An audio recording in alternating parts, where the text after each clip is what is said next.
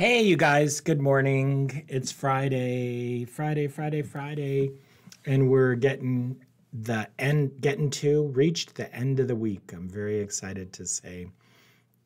Lots of really great questions this week. I'm super excited to unpack for you guys. Um, just an update we did lose our video director, PJ, this week. Very sorry to see him go. But a uh, number of consequences of that. One is I'm on my own. so I'm going to do my best and uh, get this set up for you guys. But um, please understand that it might be a little rough today. So cut me some slack if you can. Um, I'm still going to do everything I can to get to all your questions. All right, with no further ado, we've got some really important ones this week, which I think are the answers, as usual, are going to really be helpful to a lot of us. So let's uh, take some time to unpack what people are saying and what's happening and kind of go from there. And let's start out with this question from Just Interesting. Great uh, handle, by the way. Hello, doctor. Hello, Just Interesting. Here's my experience no popping sound. Ah, very interesting. Because popping is a classic indication of an tear in a meniscus of the knee. Doesn't hurt while walking, sleeping, or sitting okay, uh, sleeping usually is not painful, but sometimes with arthritis, you do get that kind of buildup at night. Walking would imply something going on with the joint, and sitting is generally not that bad. Um, no pain with knee extension or folding. Interesting. Interesting, because that means extension means straightening the knee, so the joint moving doesn't hurt. Pain location. Uh, while knee is extending, see two pop up beside both kneecap. I have pain in the right one on the inner side. It really hurts while I'm running. Ding, ding, ding, ding, ding, ding, ding. So, uh, first of all, I'm sorry this is happening to you because, you know, here's somebody trying to do the right thing, trying to get out there and be healthy and run. And gosh darn it, once you know while you're running, you get knee pain. Well, there is actually a name for this, and it's called, I think you have what is called runner's knee. And it's called runner's knee, yeah, because it hurts when you run. It's a very common problem. Runner's knee is the eponym, meaning kind of like what we know it to be called, but it's really a condition, the anatomy of the problem, or what doctors would call the pathophysiology the problem in your physiology is with the um, patellofemoral ligament. Don't panic. Um, let's unpack that a little bit. So here's a model of the knee, and you're looking at her from the front. This is your kneecap, which you normally can feel even through your pants and under your jeans. You can feel your kneecap. The kneecap is a bone, and on the inside is cartilage. See that blue? And that cartilage is part of a joint between your thigh bone and your kneecap. And the kneecaps doctors call the patella, and the thigh bone they call the femur. So that's the patellofemoral joint. Why didn't they just call it the knee? Well, it is part of the knee, right? It's one of the things that makes up the knee, but we want to be super specific. And so we call it the patellofemoral joint. Now the the bone of the patella is going to be has got to be connected to the other bones, right? And remember there's two kinds of tissues that connect stuff in our musculoskeletal, our spine and joint systems. The kind of stuff that connects a bone to another bone is called a ligament. That's a ligament. The patellofemoral ligament connects the kneecap to the to the this is actually the patellofemoral ligament, to the thigh bone. This one, this is the tibia, so this would be the patellotibial ligament, which we never really talk about. So anyway, this ligament is um, is what's inflamed in runner's knee. And the general, you can have arthritis of that joint between the kneecap and the thigh bone. You can have uh, tendonitis of the the tendons that connect the, uh, the of the ligaments that connect the uh, patella to the rest of the body. And that is uh, generally that kind of complex of problems is called runner's knee. And it's actually one of the most common causes of knee pain. If you lined up 100 people with knee pain, patellofemoral uh, problems would be one of the leading causes, along with arthritis. And then some of the least common causes, just because they're so severe and require surgery to fix, are things like anterior cruciate ligament tears, meniscus tears or injuries, and as I mentioned before, the big one, the other big one is arthritis. So, what do you do about it? Well, first of all, it's not surgical. You're you're out there uh, running, and I did respond to you in writing, but you know when it flares up, the immediate thing is ice and rest. Um, it's it's the usual rice, rest, ice, compression, elevation. It's true of almost all the spine and joint injuries. Rest, get off the knee, try not to run anymore until it stops hurting. Ice it uh, as much as you can. Anything from a commercial ice machine with a, a, a brace that goes around and is cooled by water, iced water coming from a pumped out of a cooler. Those kind of commercial units are awesome, but they're expensive. So if you have one, use it. Um, and then there's just regular ice packs and every uh, variation in between. It's all good and it all works. 15 to 20 minutes several times a day is probably good to go. If you want medications, you can consider anti-inflammatory medications for this. Remember, that's Aleve and ibuprofen. The longer you order, or even Tylenol, the longer you take them, the more likely it is they're going to rot your body. So I don't recommend them for long, ongoing issues, like more than a few weeks. But for a week or two, they're they're pretty safe, depending on your body. If you're not sure, check with your doctor. Physical therapy is a big help with this. Um, oftentimes, there's something going on in the way that you're put together. Maybe you have a little bit of a deformity between the way your thigh bone rests on your leg bone. And a physical therapist, they're just uh, eagle eyed to those kinds of things and can suggest changes in function and change in certain exercises to help you get back to a more stable and better way. Patellar taping is a real interesting one. This is the tape you see the Olympians sometimes wearing. And I, you know, I think this is something that um, a lot of people are interested in, and it's hard to recommend. First of all, I think you got to know what you're doing. So my recommendation would be, if you're interested in patellar taping, get a physical therapist and ask them about it. Um, or even a chiropractor. Ask them if they can do it for you the first couple times, and see if it helps. If it if it doesn't uh, hurt, it doesn't hurt, right? So if it helps, great. Orthotics. Uh, sometimes the problem is actually coming from your foot. It's a it's a deformity. It's the knee is reacting to the next joint, which is the ankle and the foot. So that's worth looking at. That's in that category of I wouldn't go out and get orthotics to see if it helps your knee. I would talk to the physical therapist first and if the therapist or the chiropractor recommends it, then orthotics would be something to consider. Surgery is really not an issue here. There's no good surgery for this anyway, as far as I know, and you're not um, you're out running, so you're not you know you're not disabled enough to go through the risk of surgery. Hey, by the way, um, I'm using ChatGPT, the new AI tool, to generate the first draft of the answers. It's right, uh, you know, at least half the stuff that comes out of it, I think, is right but it does save me a lot of typing and it's a super cool uh, super cool aid. So um, you know you can use it too. Feel free to open go to the openai site and open ChatGPT or the new bing pretty soon is going to have it. But um, it is really helpful i think uh, and really allows me to get you longer and higher quality answers I don't, you know, on your own, uh, it's definitely something to think about, like Google is.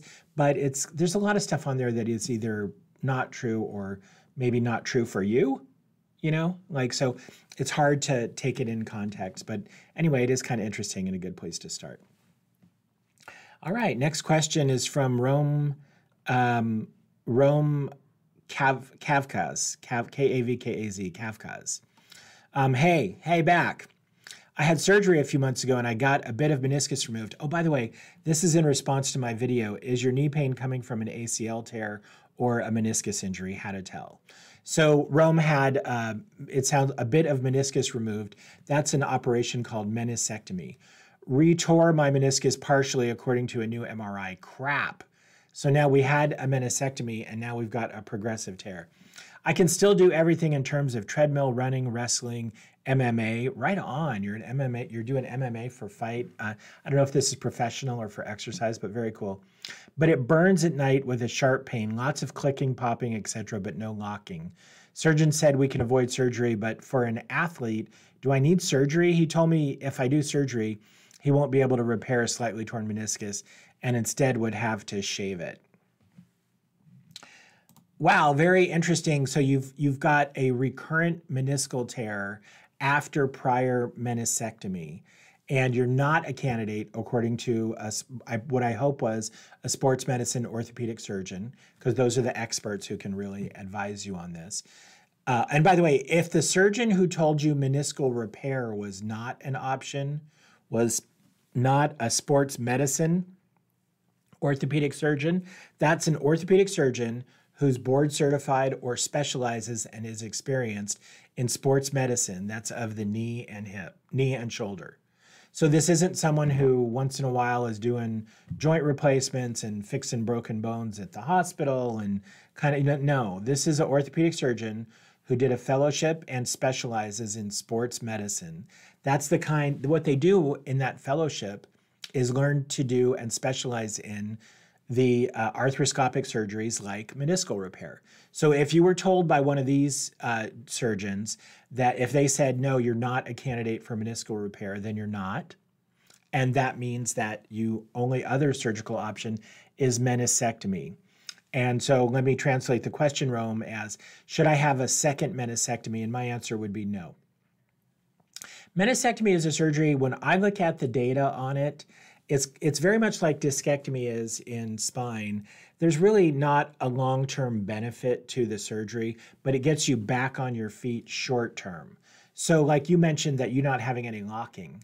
Well, that's the very best reason to have a meniscectomy is that your knee's locked, you can't walk, and you got to go get a meniscectomy to get moving again. So you, I mean, obviously you've got to be able to walk to do our thing, right? So it takes you from like not walking to walking it does not take you from walking to walking faster or athletic, or it's not going to take you from losing your MMA match to winning your MMA match. That's not likely to be the case based on the evidence.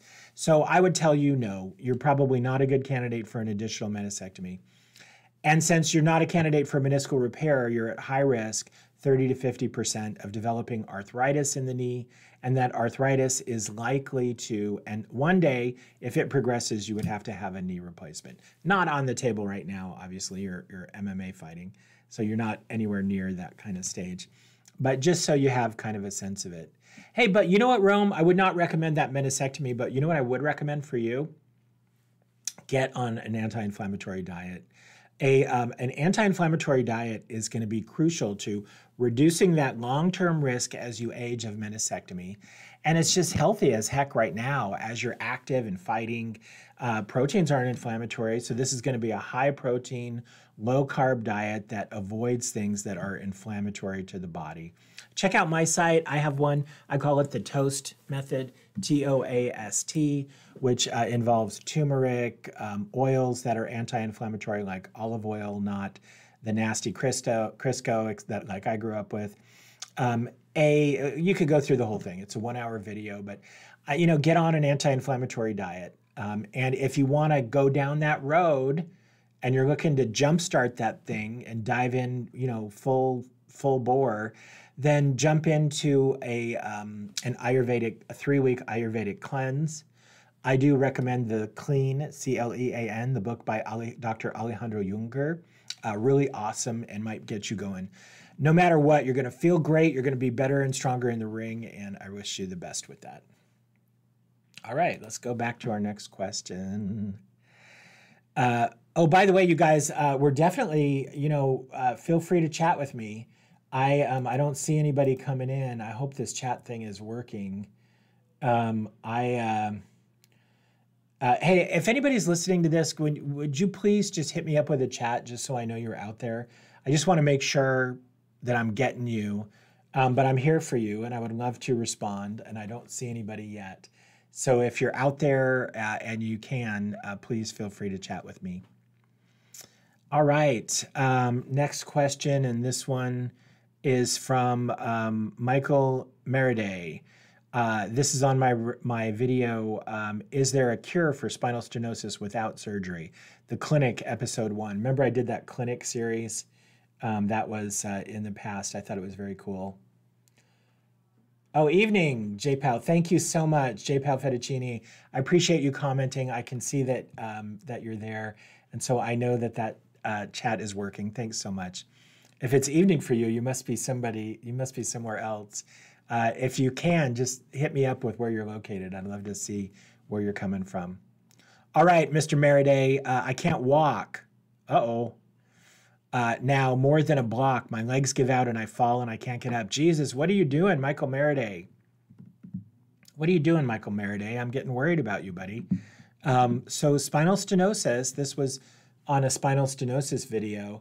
Spinal stenosis is a progressive condition. And remember, we've gone over, if you're a regular on this channel, you know what I'm talking about. But if this is, this is a model of the spine, and these are the bumps we can all feel in our back. And if I turn it this way, so that we're looking right down the barrel of the spine, this is the spinal canal. From the back of the vertebral body is the floor, to the roof is the lamina. And you don't see because this is a skeleton, but under that lamina is a ligament called the ligamentum flavum, which gets thicker as you get older. So your roof, your ligamentum flavum, and your lamina are coming down. The walls are the facet joints, which are enlarging because look at your knuckles, Michael. I mean, our joints get bigger as we get older, so the walls are coming in, the roof's coming down. Usually there's bulging discs, so the floor is coming up. Combination of all those things is the spinal canal is too narrow. And at first it's a nuisance. It can cause back pain, can cause claudication, which is pain running down your legs when you walk. But then it gets real, and then it kind of like goes on for a long time. A lot of people are like, oh, do exercises for spinal stenosis. And I mean, that always bothers me so much because we now know from studies that your risk of death, if you don't have a laminectomy to open up your spinal canal, is a third higher. So do exercises, they'll kill you. right? I mean, come on. Uh, exercise can't make a small hole bigger. But in the early, having said that, in the early stages of spinal stenosis, motion is lotion. And so when you move, you do kind of stay active and it does suppress the pain. That's not what we're talking about with Michael. Michael, you can't you can't walk a block and then you get you fall and you can't get up. So no, we're talking about this is not motion is lotion time. This is a really serious situation. And yeah, you're really um, you're really likely to continue to progress and eventually you'll lose control of your bladder you don't just start peeing on yourself. The way you lose control of your bladder with spinal stenosis is you get to where your brain is not feeling your bladder normally. And so instead of emptying when you're full, peeing when you need to go, you hold it too long. Now your bladder's chronically all the time too big. And when it's too big like that, it, eh, you ever did you ever hold it for too long and then you go pee and you just can't, you feel like you're done, but then you have to go five minutes later. When the bladder is distended and stretched, it gets deformed and then it can't empty all the way. And that big boggy bladder just empties a little bit. So it goes from like 100% full to 90%, 190. So you're peeing all the time. What people notice is not incontinence at first, it's frequency frequency. You're peeing too often at too high a frequency. And then what happens eventually is you can't control the bladder again. And, you know, if you wait until you're into these bladder dynamics and then you have the laminectomy, you're not likely to get better. You're likely to have some permanent underlying bladder damage. And let me tell you, brother, uh, being incontinent of urine stinks. It's just a horrible and very labor intensive. Nobody wants to wear diapers. Nobody wants to cath themselves. That causes urinary tract infections. You think falling is bad? Recurrent UTIs are worse. They kill people like falls. So come on, man. Please get evaluated. I'm, I'm really worried about you, Michael Meriday. So let's get this checked out. Sorry to be such a bummer, but yeah, it's, it's scary. Uh, your rec- uh, Piotech 1985 on my should I take glucosamine chondroitin or collagen for a herniated disc says, You're recommending fusion for a 17 year old boy? Are you serious? Um, first of all, I love your spunk. Uh, definitely, um, definitely uh, excited there. There's our question. Let's go back to me. Um, I'm smiling because I, I did a lot of. I'm no longer. I'm a retired doctor because of. I developed essential tremor. I've got too much tremor to be able to operate. But when I did operate, I did a lot of pediatrics, and most of the the pediatrics is operating on children. Most of the pediatric surgery I did was for brain tumors for children with uh, tumors of the brain, but a significant amount was also spine. And the idea of operating on a child is shocking. I mean, it's, a, you know, a 17 year old is one thing. How about a baby? I mean, I used to have to operate on newborn babies who were born with brain tumors or had problems with their own spinal fluid. And it's just shocking and scary. And I mean, um, not, I mean, for the parents and not, not really for the surgeon, but it's like, um, I get where you're coming from. I 100% get it, but I am serious. There are some conditions for which surgery is the only treatment. In fact, I would argue that when you're getting it properly, if you need surgery, surgery is the only treatment that's likely to be effective. No one's ever like, should I do some exercises or have surgery? No, you do the exercise, right? Should I change my diet or have surgery? No, you'd ha- you change your diet. So surgery is what you do when nothing else is going to work. And um, if you happen to be a child I personally think it's natural to be, are you serious? To be defensive and protective of children. But on the other hand, it's cruel not to give care to people who need it. It's really cruel not to give care to people who need it just because you think you're protecting them. Oh my God, it's the same thing with these homeless, right? I mean, we every day I drive to work now, I see these poor souls, our friends and neighbors who are homeless, because we don't have the courage as a community to take care of those in need. It, because we, we're protecting their theoretical freedom when they're 85, 90% of them are suffering with really severe mental illness. We've lost our nerve and we're letting them suffer so that we can, out of some vague sense of protecting them. So, anyway, a lot of that going around. A very painful issue. We'll talk more about these things as time goes by, but it's definitely something something that's important that I think we should we should look into together. All right, what's next?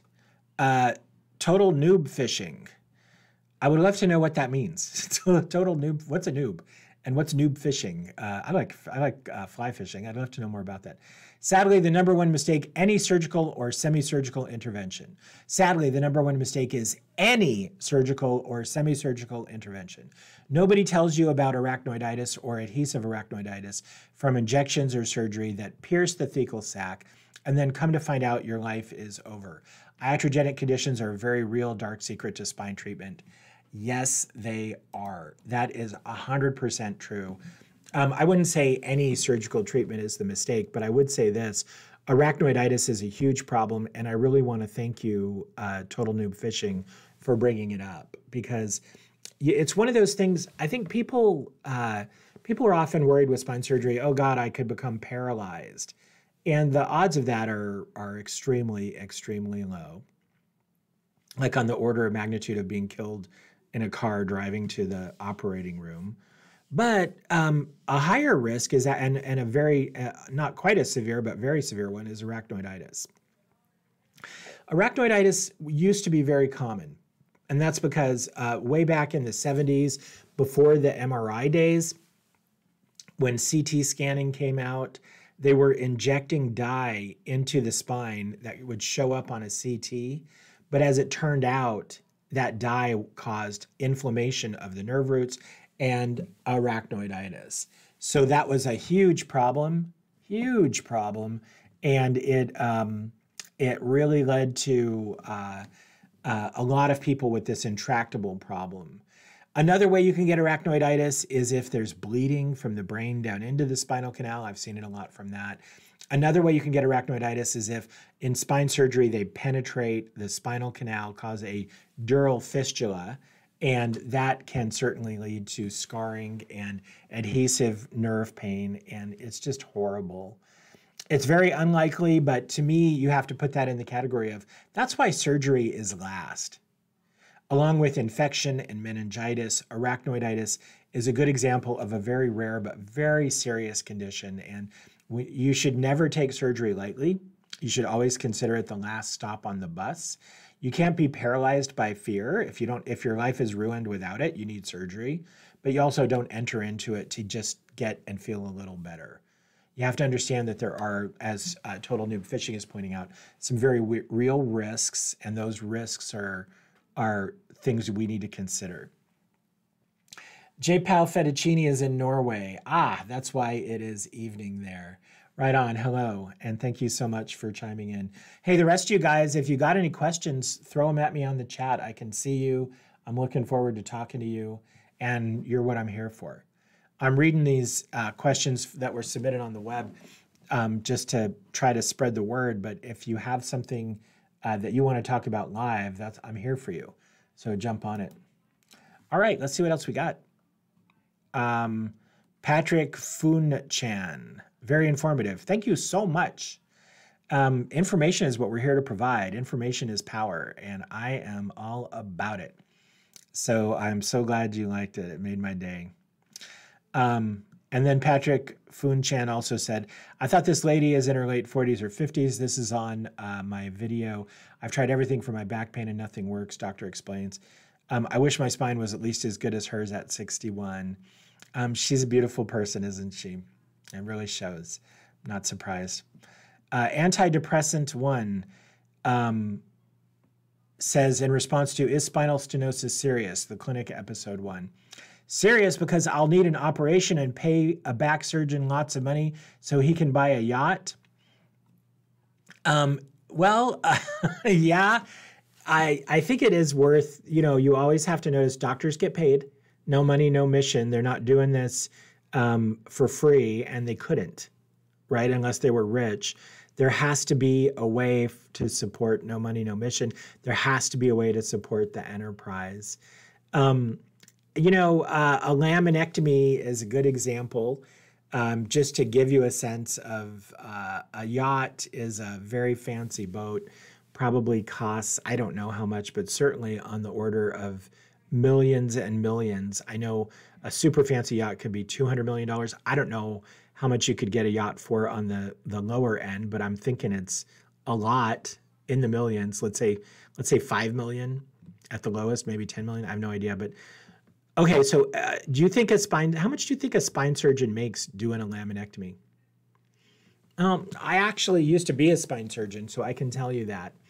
The typical spine surgeon um, would be paid about Medicare rates for doing the laminectomy and the Medicare allowable, how much Medicare they set, the government sets the fee for doing the laminectomy surgery would be $1,200. So the surgeon's going to make $1,200 for doing the operation. They got to pay their malpractice, they got to pay their rent, they got to pay their medical assistant in the office. Usually, all that stuff adds up to about 50% of the money that they take in. So that 1200 is now 600 of the $600, the average spine surgeon came out of medical school $400,000 in debt. That's the average these days. And then they trained for an additional, for neurosurgery, it was one year of internship and then six to eight years. So they did an additional nine years of work at the poverty level wages in order to get enough training to be able to do that operation. So for that 600 bucks, they trained for, you know, basically 10 years more. I don't know that they're that's yacht material, bud.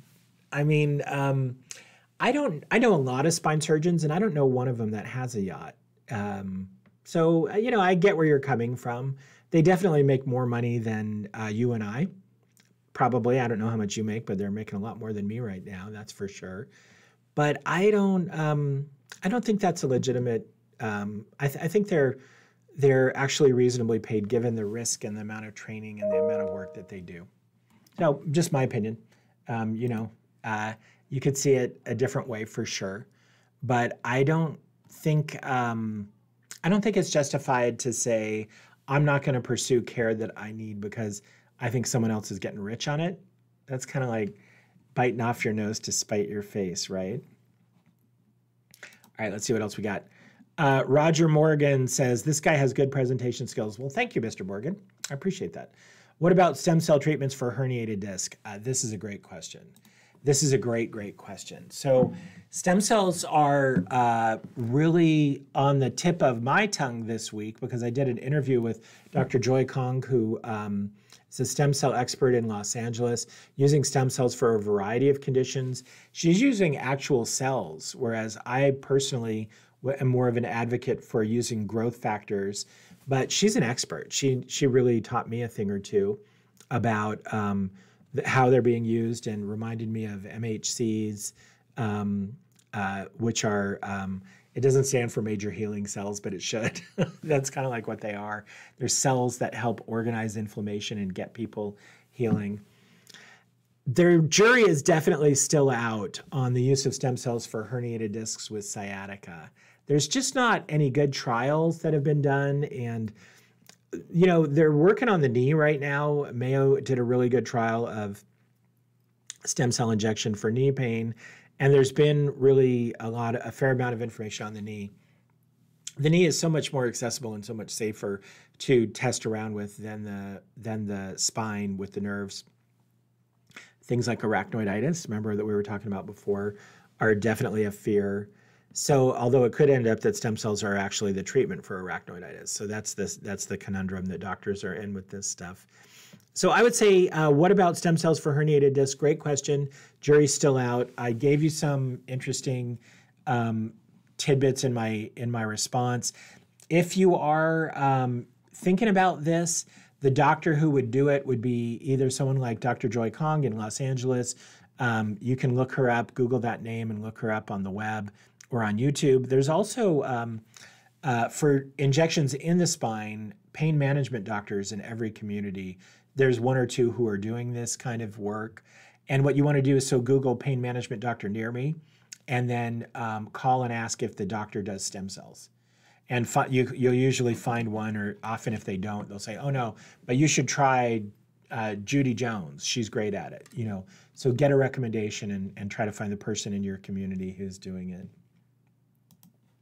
All right, all right. Uh, Joe Bruin says PRP was helping me for sure. I was getting an injection every three months for two years at the VA, but they did two erroneous injections. One hit the fat pad. This is in the knee, and uh, I could walk for six months or so. And now it's been over a year since my last injection. I plan on getting stem cells with PRP and Regenexx, but now thinking it may be too late. The space between the cartilage and bone is gone. There's a lot of money that I will risk it. I've heard some people get lucky after two to three weeks of total knee replacement. Some are very good at this now. I still think Regenexx is the place to go. I disagree. I disagree. I mean, uh, you know, I hear you, Joe, and I know what you're saying, but um, stem cell injections for severe osteoarthritis of the knee buy you time. They do not ultimately change your need for knee replacement. If x ray shows you're bone on bone, like you mentioned, then stem cells are just going to cheat the clock a little bit. If you're trying to buy a little more time, that's fine, but they're not going to eliminate your need for the procedure. There's no indication of that. And then the other thing I would say some people don't get lucky with total knee replacement. They do their homework and they get a five star surgeon. The things that, like, if you read online about total knee replacement, it's like Dr. Jekyll and Mr. Hyde, right? You'll read about people who are doing just beautifully and flying through, and then just these disaster, disaster, disaster. The disasters are predictable. The disasters are happening with people who are not using robotic assistance, going to surgeons that don't do more than 100 or 200 of these types of procedures a year, so they're on the learning curve. They're having surgery in the hospital instead of the ambulatory surgery center. You can control whether you're in the good group or the bad group and you can control it by watching my videos on total knee replacement and selecting a surgeon who can help you get to the get to that good result. It's definitely doable and it's definitely something that you should consider because it's important and it's really gonna it re, it's really gonna make a difference. All right, um, let's do one more. I'm afraid we're running out of time, but I'd like to take one more of your questions. Let me just check the chat. Ah, Mr. Fettuccini. Oh, Mr. Aman YT809. Hello, sir. Hello back. Thank you very much for your comment. Mr. Fettuccini, I heard a talk where some doctor mentioned stem cells can't survive in the disk space because of the pH value. Uh, I'm not a doctor, but I'm just replying. And the um, I believe you're exactly right. Yeah, thank you so much for bringing that up. Let me just give you my history. And if you watch when my interview with Dr. Kong comes out, you'll see this. But I started out, my very first job, I was a scientist for the National Institutes of Health here in Bethesda. So I worked for the federal government. And I ran a lab. After two years, I got the nod. I was appointed, I was promoted, and I was the lab director of a lab that called the CNS implantation unit. And what we did was implant cells and looked at their potential stem cells for the treatment of Parkinson's disease. And what we found out was none of the cells we were implanting survived. They all died. It was the death of the cells and the release of the growth factors that had the therapeutic effect. I personally am strongly biased that when I that the stem cells. So why would they live in the disc where they didn't live in the brain? I, I mean, to me, I don't have any evidence. No one does, but to me, it's very likely that the growth factors that are released when the cells die are going to end up being the thing that does the gives you the benefit. And so I just don't see any point of okay, if they want to take cells from fetal blood and inject those cells and they all die and release their growth factors, great. But the idea of like having a bone marrow, by having your own bone marrow tapped so that they can get your cells and grow them up, to me, that's not the way to go right now. So I, I think that that's definitely it. Uh, so I got a question. I can't, the name is in a different uh, alphabet, but the question is total hip replacement cost. How much does total hip replacement cost? That's a great question. If you're looking to pay cash, if you do not have health insurance, then you should look to spend about $20,000 US. You might be able to get it for 18, you might it might cost you as much as 22, but think about $20,000 US as the cost of the procedure. If you have health insurance, then you have to pay your deductible. So look on your card, your deductible, you have to pay 100% of that. And then you have to pay your co-insurance, which is usually most plans are 80-20. So insurance pays 80% after the deductible up to the co- the out-of-pocket max. Let's say your out-of-pocket max is 10,000 and your deductible is 2,000. You got to pay the 2,000 to get to your deductible, then 20% of the 800, which would be another 200. So that's 2,200, and then insurance covers the rest. Uh, if you're not an accountant or a mathematician and you don't know what the out-of-pocket max, the allowable, the deductible, and all this other crud is, uh, I mean, it's just confusing as heck. It takes me months and years to train people on how to do this stuff. So I, I don't know how we expect you guys to do it. Um, anyway, the, the thing to do is just call Phoenix Spine and Joint. Uh, that's a, a website, phoenixspineandjoint.com, or you can call call them at 602 256 2525. There's uh, uh, operators standing by. They'll go over your situation, run you through a checklist to make sure you're a candidate for total hip replacement, and then set you up and tell you what your out of pocket cost would be, whether you have insurance or you're paying cash or whatever it is. So that's, uh, that's the answer to that. Uh, Jay Fettuccini says time. I, are you saying what time is it here? It's 10:43 in the morning here in Phoenix. Are you saying how much time does it take to do a total hip replacement? That's 100 minutes. Average is 100 minutes, 110 minutes. Um, so I'm not sure. Maybe you could clarify.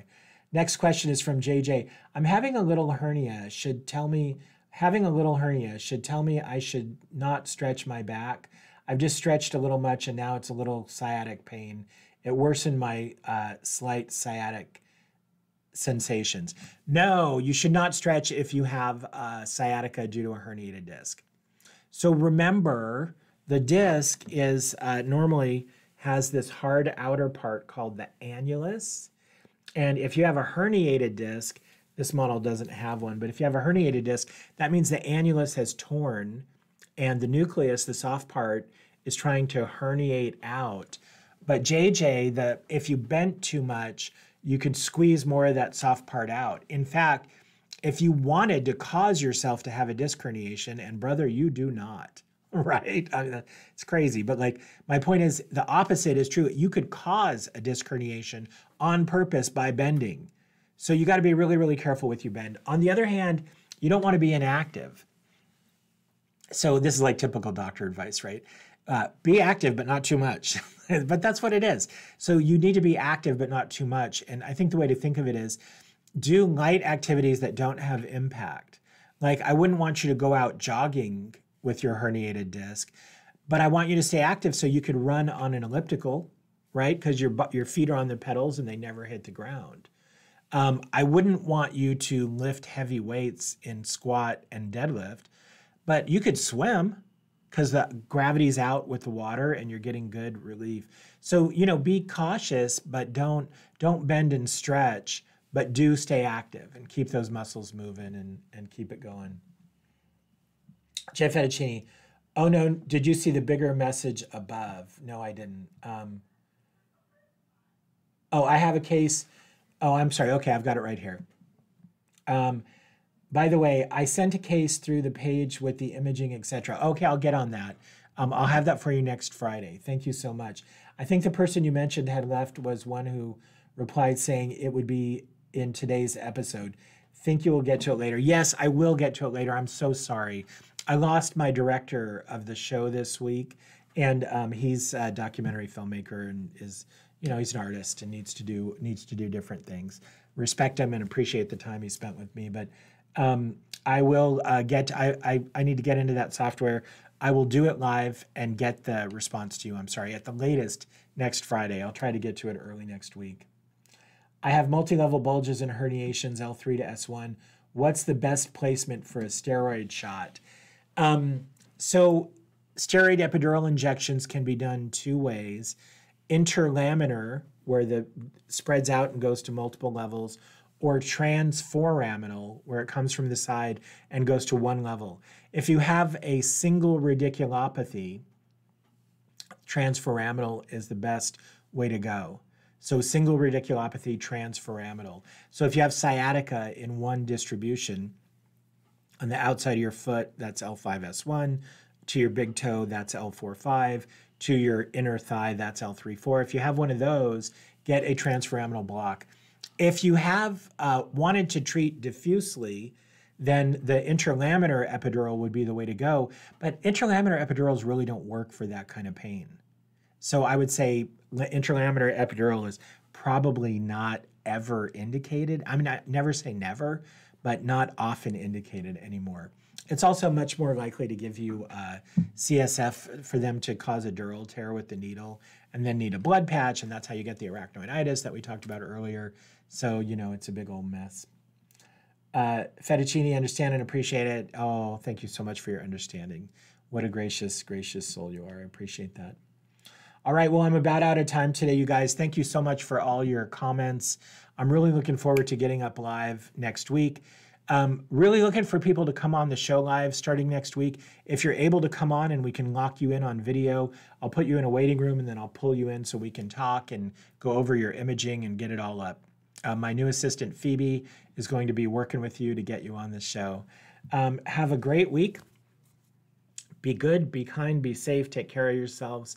It was really nice talking to you today, and I look forward to talking to seeing you soon. Have a great weekend, and from Best Practice, I'm Dr. Dan Lieberman.